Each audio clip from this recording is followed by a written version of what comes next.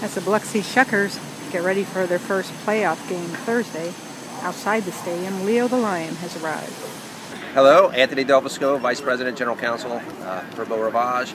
Um, here today unveiling the new lion statue that will sit in front of MGM Park. Um, want to thank our corporation for this great gift. Uh, Mr. Murren, Mr. Sanders, uh, Mr. Nicodemus. Uh, we're going to look at it with pride. It, should be a, something that a lot of the fans would like to take pictures in front of and signify uh, the economic development that's happening down here in uh, the uh, downtown area of Biloxi. We've already seen um, calls from potential investors um, wanting to see what opportunities are down here.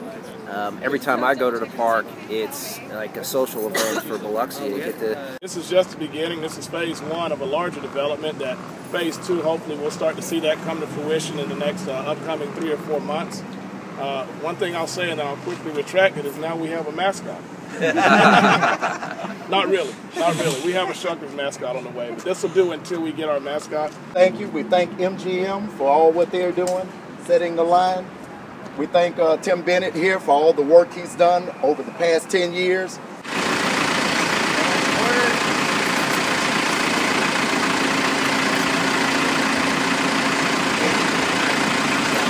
Right game. All right, MGM Park has its bling.